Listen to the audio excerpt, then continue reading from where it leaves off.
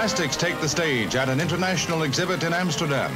The ingenious alchemy of coal and oil provides the material. Ingenious machinery presses and stamps and molds the material into a wide variety of products, articles for household use, as well as tools for industry. The horizons of plastic are lengthening and strengthening too. In the world of tomorrow, plastics will certainly call the tune.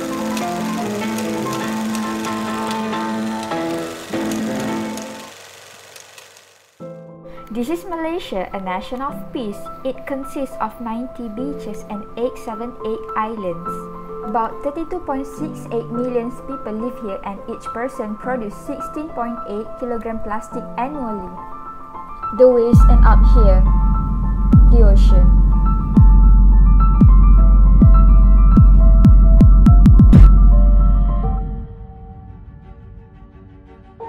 David Common has more on the story. He's reporting from the ground near Kuala Lumpur, and he tells us today Malaysia wants Canada to change its ways.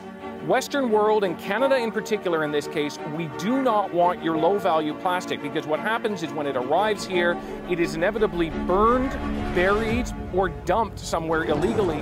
What the citizen of the UK believe that they send for recycling is actually dumped in our country.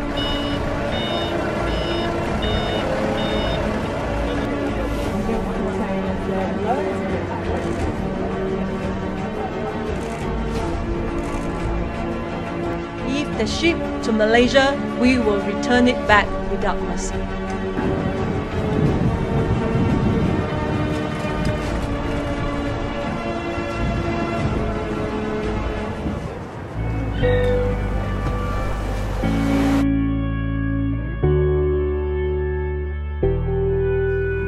whatever waste pass through our lock logbook is complement our existing operation.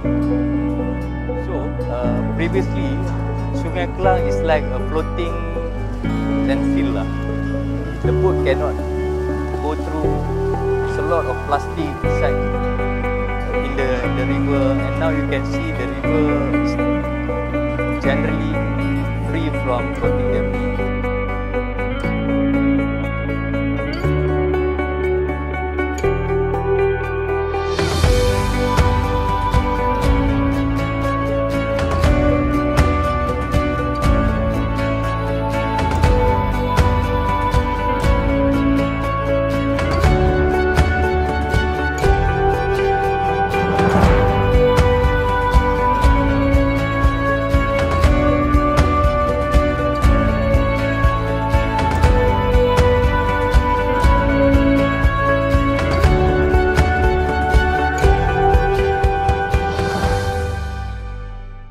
Malaysians, like any other developing countries, have a right to clean air, clean water, sustainable resources, and clean environment to live in, just like citizens of developed nation.